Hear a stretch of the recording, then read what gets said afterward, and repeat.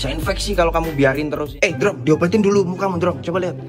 Aduh, Drong, makin parah itu, Drong. Coba dulu sarung tangannya, Drong. Nah, sambil di scrub, diputar-putar gitu, Drong. Bagus itu buat kulit, Drong. Ini apa Bang Ri? Ini ampas kopi. Tukang las harus tahu, Drong, hal-hal ginian, Drong. Karena apa? Ini bisa infeksi kalau kamu biarin terus ini. Efek las itu soalnya berbahaya, makanya lain kali pakai topeng. Kalau udah kering gini langsung bilas, Drong.